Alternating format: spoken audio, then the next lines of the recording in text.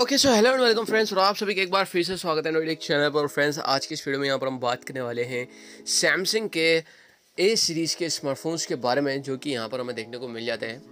वाले ए ज़ीरो यहाँ पर सैमसंग के ए सीरीज़ में काफ़ी सारे स्मार्टफोन्स हैं, जिनको कि एंड्रॉइड थर्टीन बीटा का जो अपडेट मिलना है।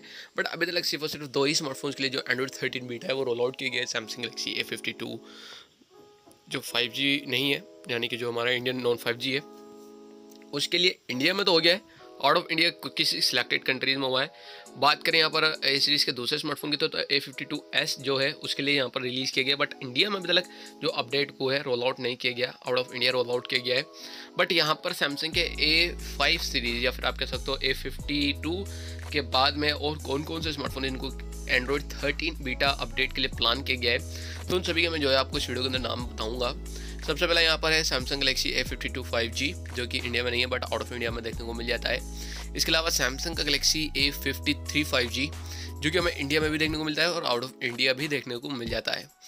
यहाँ पर Samsung Galaxy A thirty two five G भी मैंशन किया गया है and A twenty three five G आया A twenty three five G भी आया है मतलब ए ट्वेंटी टू का तो पता था ए ट्वेंटी थ्री भी आ गया है। तो खैर, यहाँ पर ये स्मार्टफ़ोन भी हैं जिनको कि एंड्रॉयड थर्टीन का जो बीटा अपडेट है and one you I five का जो बीटा प्रोग्रामिंग है, दोनों ही चीज़ आपको देखने को मिलेगी। अब कब तक देखने को मिलेगी, इसके बारे में मतलब जो ए ट्वेंटी थ्री है, और यहाँ पर हमारा A thirty two five G है। इनका तो अभी डेट की कंफर्म नहीं है कि कब तक मिलेगा बट ए फिफ्टी थ्री के बारे में बता दिया गया है।